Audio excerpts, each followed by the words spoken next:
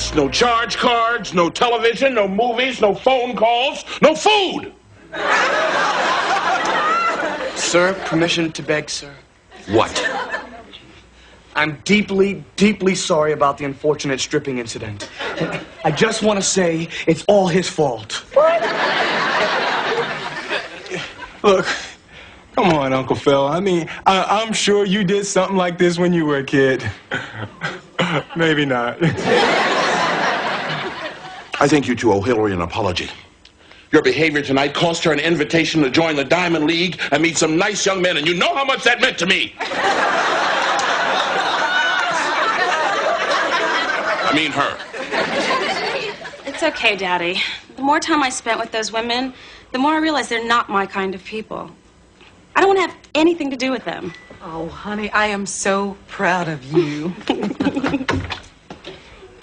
Mrs. De Winter. Hillary, darling, why did you run off like that?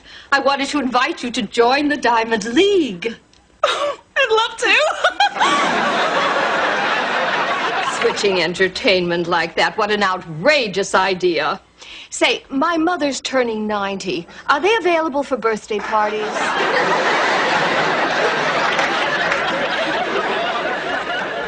I guess I'll just be. Sit! I'm not through with you two yet. I want to know what excuse you have for pulling such a stupid stunt. We needed the money. For what? And I want the truth.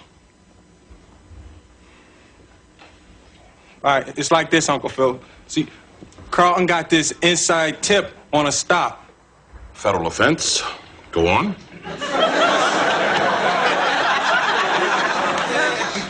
well, then, then we pawned Aunt Viv's bracelet to get the money for the stop. Grand larceny, impressive. and then we lost the money, so we had to strip to get the bracelet back. That would be indecent exposure. Is there more? I'm afraid so, Dad. We never got the clasp fixed on Mom's bracelet. you never got the. you do.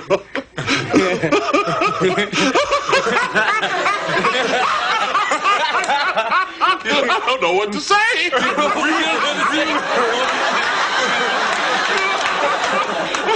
what can I do? What do you think I should do? I, I don't know. Reward us for our honesty?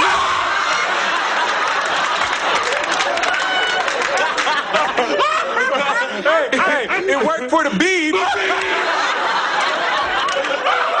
I look like a white guy named Ward? Now you get that bracelet back, and for the next six weeks, I don't want to hear you breathe. Or I'm calling the feds myself.